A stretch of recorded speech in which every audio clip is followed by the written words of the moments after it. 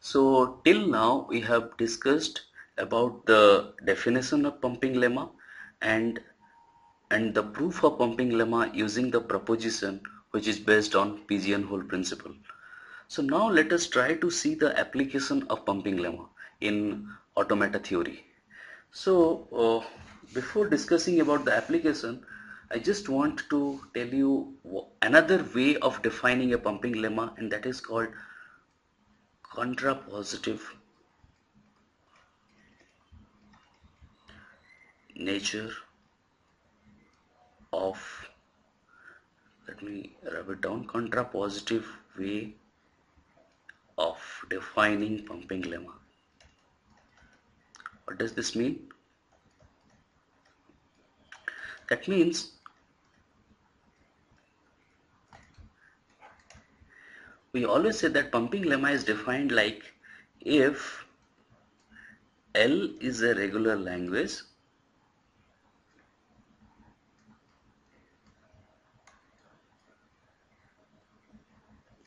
then it implies it satisfies the pumping property. So what will be the contrapositive statement for this for this uh, proposition? So we can apply the discrete mathematics uh, knowledge to uh, define the contrapositive statement for this proposition. That is, any language, if a language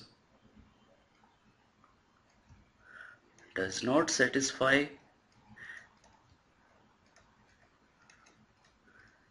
pumping property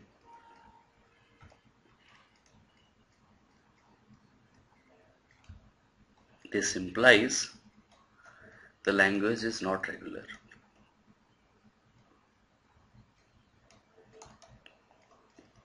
I hope you people must be remembering the contrapositive what, is, what we mean by contrapositive way of defining proposition contrapositive uh, statement for a given proposition so that is if A implies B that means negation of B implies negation of A. So this is the contrapositive statement. Similarly, so here if L is a regular language, according to pumping lemma, it satisfies the pumping property. And the contrapositive statement is if a language does not satisfy the pumping property, then it is not regular. Okay, so so this this contrapositive state uh, proposition of the pumping lemma is mainly used to prove that various languages are not regular.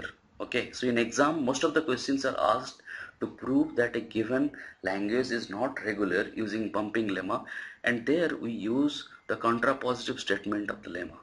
Okay, so let us now try to discuss what is the step so let me write it in it.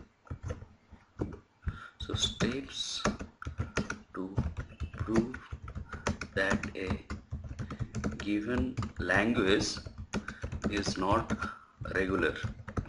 Okay?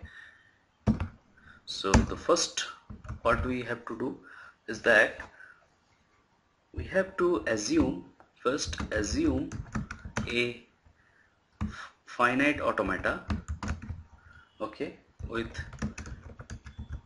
number of states equal to k that accepts a given language okay. So we so the proof so so the way to prove that a given language is not re regular is is by proof by contradiction. So we first assume that okay the language is regular that means there exists a finite automata with k states. So we assume that first.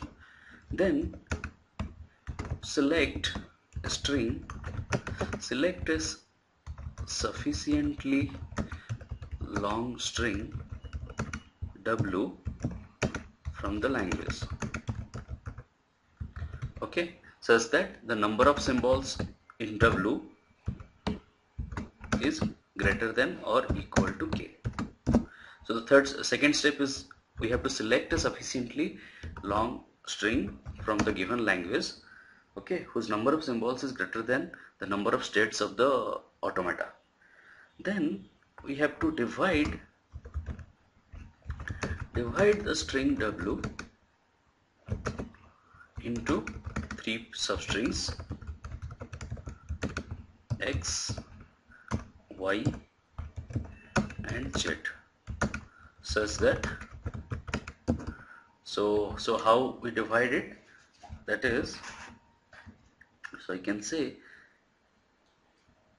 so with the constraint that w is equal to x y and z so we divide the string w into three substrings x y and z such that the number of symbols in x and the number of symbols in y should be less than or equal to the number of states k and the number of symbols in y that means y should consume at least one symbol okay? So these are the two constants on the basis of which we decompose the string w into three substrings x y and z okay? Then what is the fourth part then the fourth part is so find an integer i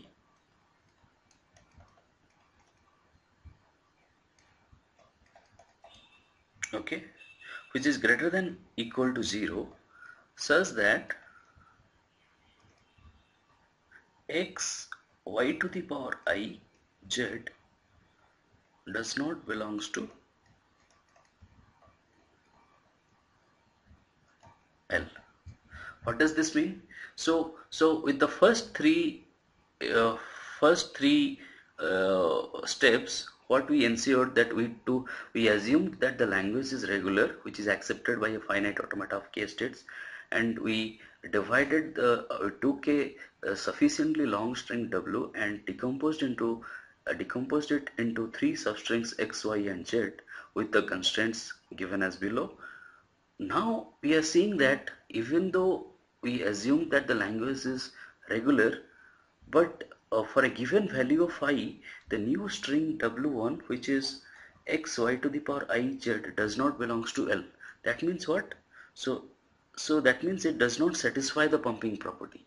So if the language does not satisfy the pumping property what happens?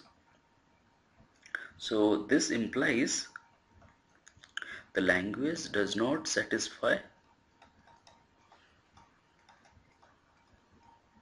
the pumping property.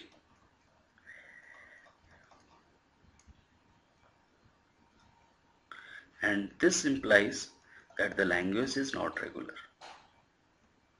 So our assumption is wrong and hence we prove by contradiction that the language is not regular. Understood? So so this is so this four steps uh, this is the way we prove that a given language is not regular using pumping lemma. Okay